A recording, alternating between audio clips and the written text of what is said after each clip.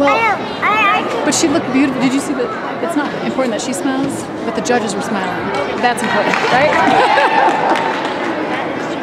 she looked great. And Jason said she was hard to smile because you just you're so busy concentrating.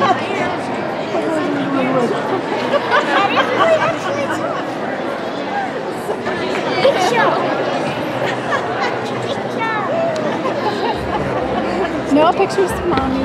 Picture. Take pictures